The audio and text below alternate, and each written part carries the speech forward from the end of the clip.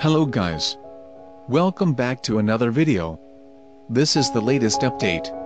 Kepler-22b is the first extrasolar planet, or exoplanet, that the Kepler Space Telescope found in the habitable zone of its star. It is thought to be a promising spot to search for life. But, at 600 light-years away, further scrutiny of this world may require more powerful telescopes.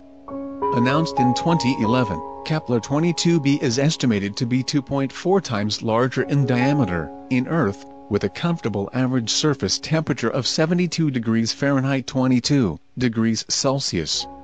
In the years since, however, investigators have debated how habitable the planet actually is. NASA first announced Kepler-22b as part of a set of 54 habitable planet candidates in February 2011. All of these planets were found by the Kepler Space Telescope. The telescope looks for alien worlds by measuring dips in the parent star's light as the planet zooms across the star, from Earth's point of view.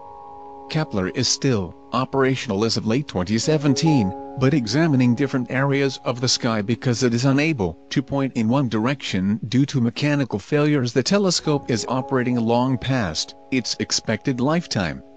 It has found many other potentially habitable worlds since Kepler-22b.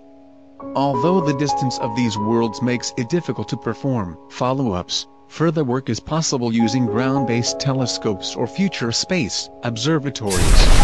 Potential telescopes that could examine Kepler-22b include the James Webb Space Telescope, scheduled to launch in 2019, or the ground-based European Extremely Large Telescope or E-ELT first light, or when the telescope first starts test observations, is targeted for 2024. Thank you guys for watching this video. Do like and share this video, and don't forget to click the subscribe button for more such future updates. Thank you.